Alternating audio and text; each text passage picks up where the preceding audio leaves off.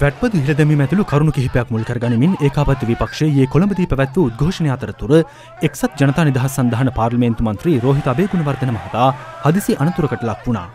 ඒ police මාර්ගබාධක පෙරලාගෙන යාමට උත්සාහ කළ අවස්ථාවේ මාර්ගබාධකයක් ඔහු මතට පෙරලීමෙන්.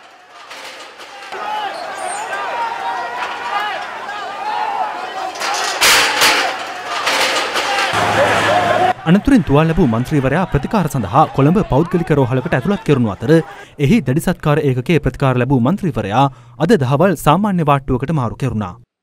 අනතුරින් මන්ත්‍රීවරයාගේ හිසට බරපතල තුවාල සිදුවී තිබෙනවා. කෙසේ වෙතත් රෝහිත අබේගුණවර්ධන මහතා ප්‍රතිකාර ලබන පෞද්ගලික රෝහලේ වෛද්‍ය චන්දිමද මැල් මහතා පැවසුවේ මන්ත්‍රීවරයාගේ තත්ත්වය බරපතල නොවන බවයි. දැන් ඊයේ පල්ලෙහා අපි SICU එකේ ඔබ්සර්වේෂන් කරලා දැන් අද වාට්ටුවට ගෙනල්ලා ඉන්නවා. දැන් ඊට වඩා තත්ත්වය ගොඩක් හොඳයි. ඔපරේෂන් එකක් නම් කරන්න වෙන්නේ නැති විදිහට තමයි මට රිපෝට්ස් වල පෙන්눔 කරලා තියෙන්නේ. තුවාල සම්බන්ධව නම් සර්ජන් මහතුරු දෙන්නෙක්ම බලනවා. ඇසේ තුවාල ඇති වෙලා තියෙනවා. ඔළුව වැදීමෙන් ඔළුවේ යම් ප්‍රශ්නයක් ඇති වෙලා තියෙනවා. දැන් වෙනකොට එතුමාගේ තත්ත්වය යහපත් බවට පරිවර්තනය වෙගෙන එනවා. මේ අතර තුවාල ලැබූ රෝහිත අබේගුණවර්ධන මන්ත්‍රීවරයාගේ සුවදුක් විමසීම සඳහා හිටපු ජනාධිපති පාර්ලිමේන්තු මන්ත්‍රී මහින්ද රාජපක්ෂ මහතා මහතා අද මන්ත්‍රීවරයා ප්‍රතිකාර ලබන රෝහලට පැමිණියා.